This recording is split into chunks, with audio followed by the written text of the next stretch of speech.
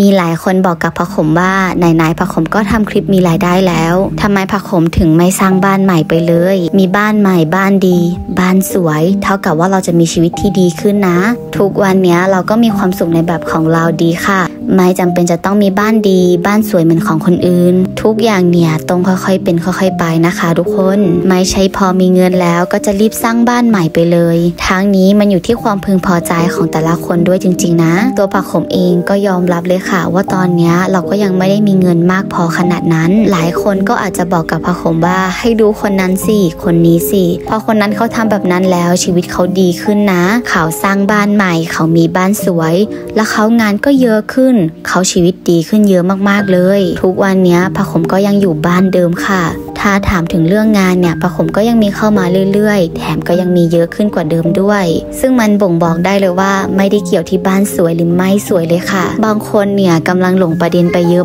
มากๆ ก็เป็นเพราะผักขมไม่มีบ้านสวยๆหรือเปล่า เป็นเพราะบ้านผักขมสกปรกหรือเปล่านะ ทุกวันนี้ผักขมก็เลยไม่พัฒนาไปไหนเลย เพราะคนอื่นๆที่เขาเริ่มเหมือนแบบเราตอนเนี้ยเขาไปไกลแล้วนะ เขามีบ้านสวย เขามีเงินก้อน เขามีธุรกิจส่วนตัวไปแล้วนะ แถมเขายังสามารถให้เงินพ่อกับแม่ได้ด้วย พอฟังแบบนี้แล้วเนี่ยเราก็ไม่ได้รู้สึกน้อยใจกับชีวิตตัวเองเลยนะคะ เพราะทุกวันนี้ประขมก็มองว่าตัวเองเนี่ยเก่งมากแล้วค่ะ และอีกอย่างเนี่ยประขมคิดว่าคนเราทุกคนเนี่ยมีช่วงชีวิตที่ดีของตัวเอง มีช่วงที่ดีแล้วก็มีช่วงที่ไม่ดีค่ะ เป็นธรรมดาของชีวิตคนเรา เขาเหล่านั้นที่ประสบความสำเร็จแล้วก็อาจจะเป็นช่วงชีวิตที่ดีของเขาก็ได้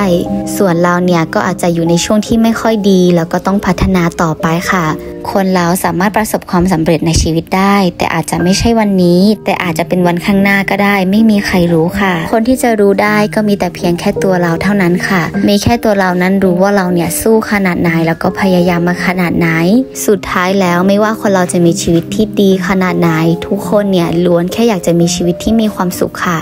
เพราะงั้นพระขมก็เลยอยากจะบอกทุกคนว่า ตอนนี้พระขมยังมีความสุขกับชีวิตปัจจุบันมากพระขมไม่ได้รู้สึกว่าบ้านตัวเองเนี่ยไม่น่าอยู่เลย ทุกวันนี้เรายังอยู่บ้านเดิมๆบ้านที่เราอยู่มาตั้งแต่เด็ก มีทั้งความสุขแล้วก็ความทรงจำอยู่ในเนี้ย แค่เนี้ยมันก็คือความสุขในชีวิตแล้ว แต่ก็ไม่ได้แปลว่าเราจะหยุดอยู่แค่นี้ แต่เราอยากให้ทุกคนเข้าใจว่าเราเนี่ยค่อยๆเป็นค่อย ๆ ไปนะคะ ทุกคน ไว้มีเมื่อไหร่อยากสร้างเมื่อไหร่ก็ค่อยเป็นไปตามนั้นค่ะ ไม่ต้องรีบนะคะคำแนะนำของพี่ๆน้องๆทุกคนเนี่ยเป็นสิ่งที่ดีค่ะ เราขอบคุณทุกคนที่ให้คำแนะนำมาตลอดนะคะ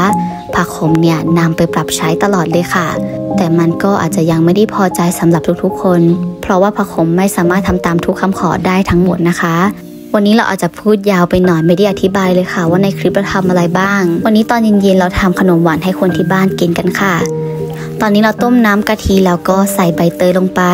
รอบนี้มีใบเตยแล้วนะทุกคนไม่ต้องไปเด็ดของคนอื่นแล้ว ไม่ใช้เศษใบเตยแล้วนะ